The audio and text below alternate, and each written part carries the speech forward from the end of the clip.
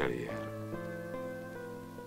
Severní světlo je zde měkce rozptýlené a malíř ví, proč pro sklenou plochu pod kroví myje zřídka kdy.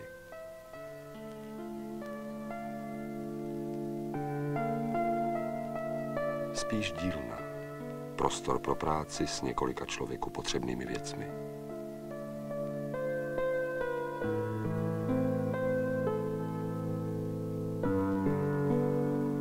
Přece tu nalezneme něco, co oslní.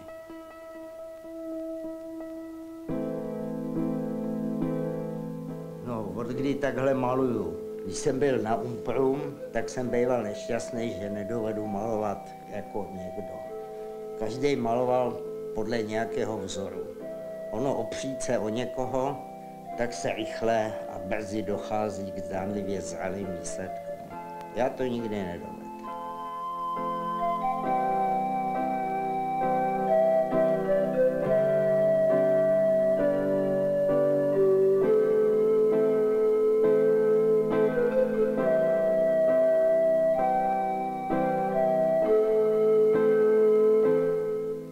Akademický malíř Jiří Chadima. Svými díly je zastoupen ve sbírkách institucí, galerií i jednotlivců u nás i v zahraničí. Představil se s nimi v Havaně, Káhyře, Monte Carlo, v Rémách, Alexandrii, Bazileji, Tokiu. Lidi někdy hrozně obdivují to umět a přitom zapomínají, že umět je hrozně složitá věc. Já nemám rád malování vyprávění. Malování to je víc záležitost zraku, než toho, abych si prostřednictvím očí přečet nějaký děj. Co bylo nutné třeba v gotice, kterou mám jinak moc rád. Ale tu funkci už podle mě dneska malování nemá. Hladká příznačná malba založená na lirické účinnosti Valéru, vodní hladiny, dvorky dětství, zahrady i ulice. Jakoby obyčejné z nejobyčejnějších a přece tak podivuhodné.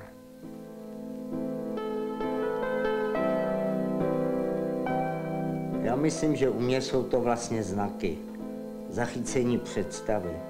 Už nevím, kdo to tady na návštěvě v ateliéru řekl. Člověče, ty maluješ praskost. Možná to tak bude. Jsem pražák rozený a těžko bych asi mohl malovat někde jinde. Jiří Chadima.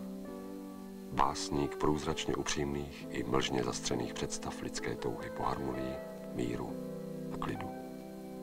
Jeden z těch, kdo posunují vývoj českého malířství k dalšímu stupni osobité modernosti.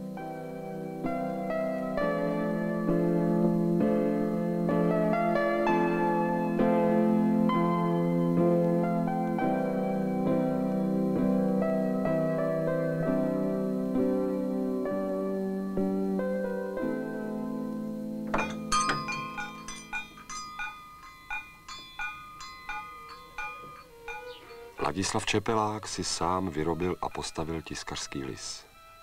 Je podobný tomu, na kterém před třemi lety tisknul své lepty největší český grafik Václav Holar.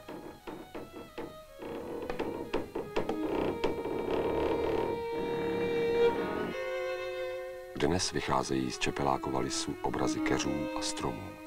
Mohlo by se říci akty, bez zakrývajícího pláště zeleně.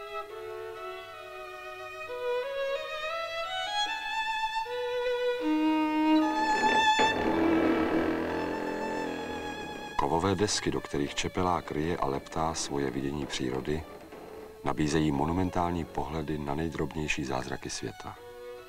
Tak se můžeme dívat i na nekonečnou krásy motýlých křídel.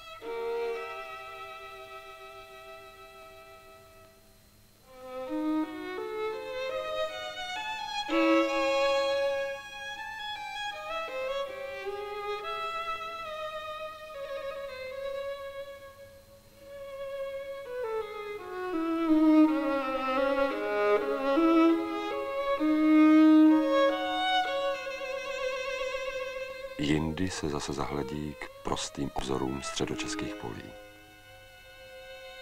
Čepelákovi žáky na akademii okouzluje a vede právě tato mnohovýznamná prostota jejich učitele.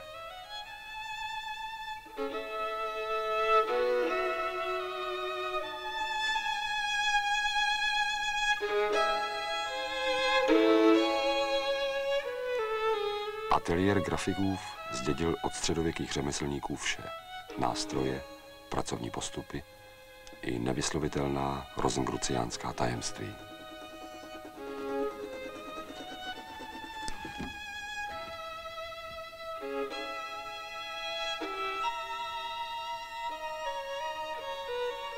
Mistr Čepelák nyní ryje do zinkové desky hlavu violy.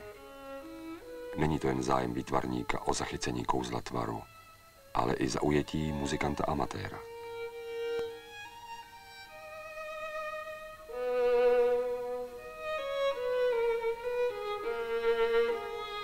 Grafik Čepelák je také výborným stavitelem viol a houslí.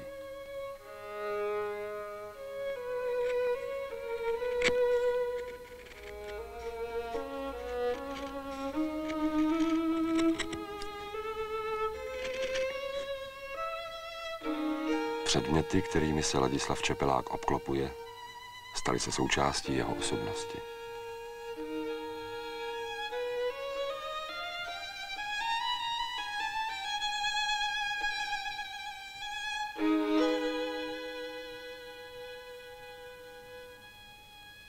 Jejich majitel cítí, že i náhodné arpeggio po strunách violy obsahuje veškerou krásu hudby, umění života.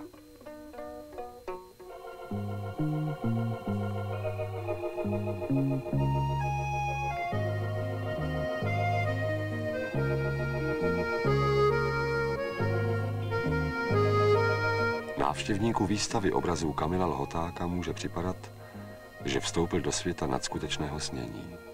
Kde nacházel umělec podněty k tak sugestivní poezii?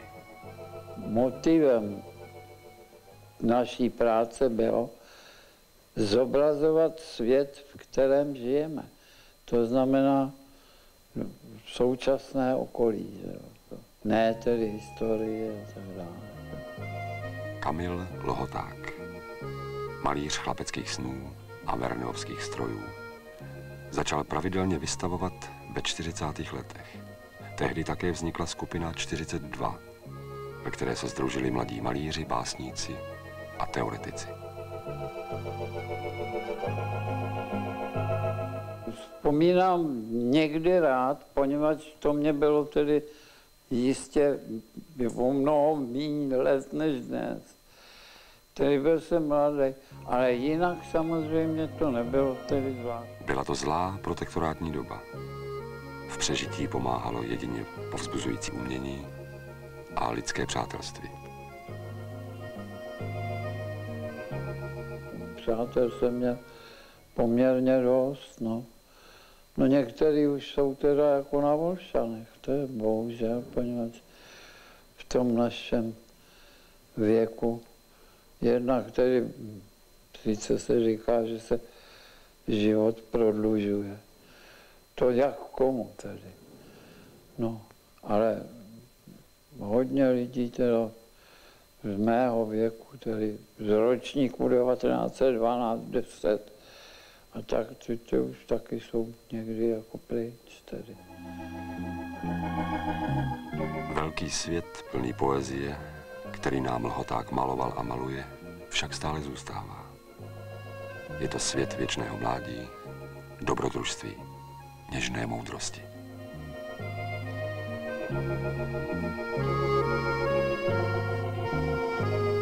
No, já vůbec jako jsem nikdy neměl vztahy k nějakým teda antikvitám, teda jaksi takovým těm staromilcům a já nevím, reprezentantům prostě zašlých epoch. No, to, to mi nesedí tady, no.